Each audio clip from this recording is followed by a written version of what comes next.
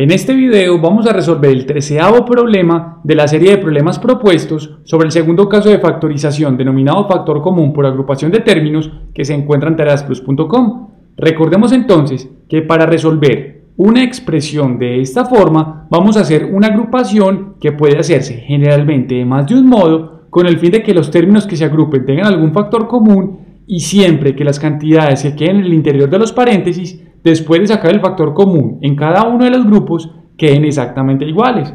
Dicho esto, vamos entonces a descomponer la siguiente expresión. En este caso vamos a agrupar entonces el primero con el segundo término, el tercer y cuarto término y el quinto y sexto término. Recordemos, sin embargo, que podemos agrupar no necesariamente en este orden, sino que podemos agrupar el primero con el último o el primero con el tercero, en fin. Entonces vamos a agrupar entonces de esta forma. Tendríamos 2y a la 3 menos by a la 2.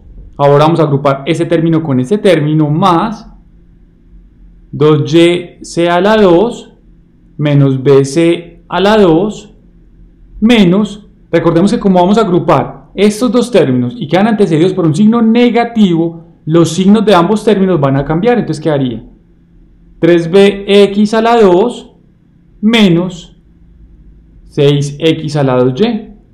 Ahora vamos a sacar el factor común de este paréntesis. Observemos entonces que la única o la única parte que se repite entre los dos términos es la letra y. En este caso sacaríamos la y con su menor exponente. Entonces tendríamos y a la 2.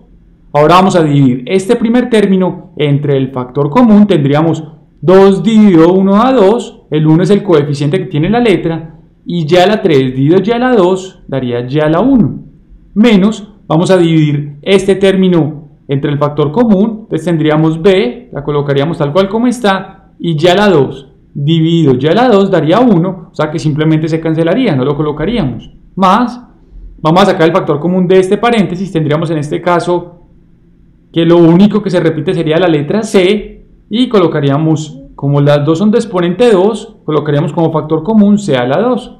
Ahora vamos a dividir este primer término entre el factor común. Tendríamos entonces 2 dividido 1, 1 es el coeficiente de esta letra, daría 2. La y la colocaríamos tal cual como está y c a la 2 dividido c a la 2 daría 1, entonces no lo colocaríamos. Menos este término dividido el factor común, colocaríamos la b y c a la 2 y c a la 2 simplemente se cancelarían, daría 1. Menos, vamos a sacar el factor común entre, de este paréntesis, en este caso entre los coeficientes sería 3, porque es el máximo número que divide ambos números, en cuanto a las letras, observemos que el factor común sería x a la 2. Vamos a dividir entonces este término entre el factor común, vamos a ir coeficiente con coeficiente, 3 dividido 3 da 1, recordemos que no lo colocamos, colocaríamos la b, y ahora vamos a dividir este término dividido el factor común, entonces daría 6 dividido 3 da 2, x a la 2 se cancela con x a la 2, y nos quedaría simplemente la y. Ahora observemos entonces que los tres paréntesis no quedaron exactamente iguales, ya que el último, la única diferencia con los dos anteriores es que tiene los signos diferentes. Ahora, para cambiarle los signos, para que nos queden igual a estos dos paréntesis, vamos a hacer lo siguiente, nos quedaría y a la 2, 2y menos b, más c a la 2, 2y menos b, y para cambiarle el signo a estos productos simplemente cambiamos este signo de acá afuera. Entonces colocaríamos es positivo, nos cambiaría entonces el signo de 3x a la 2 y estos dos quedaría 2y positivo y b negativo. De esta forma entonces nos quedarían los tres paréntesis exactamente iguales.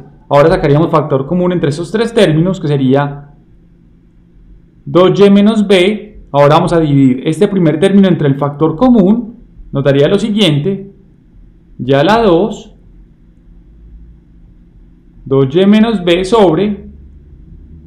2y menos b, observas que como el numerador tiene como operación una multiplicación, podemos cancelar este término. Con ese término simplemente nos quedaría y a la 2.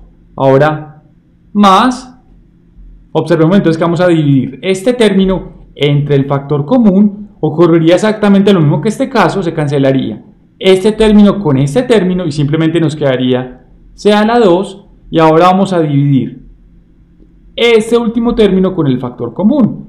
Entonces vamos a cancelar este término con este término y simplemente nos quedaría 3x a la 2 y este sería finalmente el resultado. Los invito a continuación a nuestro siguiente video donde vamos a resolver más ejemplos sobre el segundo caso de factorización denominado factor común por agrupación de términos.